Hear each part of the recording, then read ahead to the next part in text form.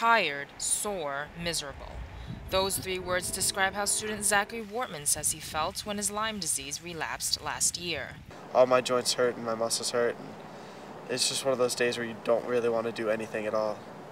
Wortman has had chronic Lyme disease for two years, and he says the hardest part isn't having it, but having to constantly be on guard. Every time I get sick, I have to go into the doctors and get another blood test just to make sure I'm not having a relapse. Dr. Jorge Benach has been researching Lyme disease for more than 20 years. He says the greatest medical mystery now is why it keeps coming back to afflict the same person.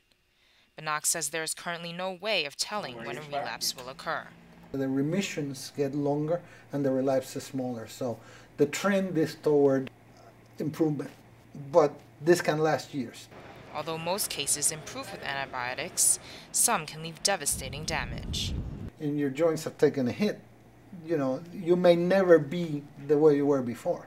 Lyme disease is most prominent in the Northeast, where deer ticks are common, and states in the region are reporting significant jumps in the number of confirmed cases, according to the Center for Disease Control. The cause is still unknown, but may be explained by possible tick increases from global warming and better reporting of Lyme cases. New York State ranked number one last year with the most confirmed cases at over 57,000. Borrelia bacteria, the organism that causes Lyme disease, doesn't grow well, making lab research more difficult and time consuming. The Borrelia divides once every 12 hours. So there's a very long period of cell division in the Borrelia, only exceeded by that of Mycobacteria, which is the organism that causes TB, tuberculosis.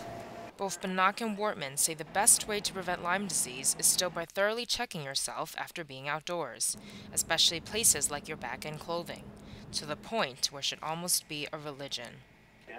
For Stony Brook University, this is Carol Tang.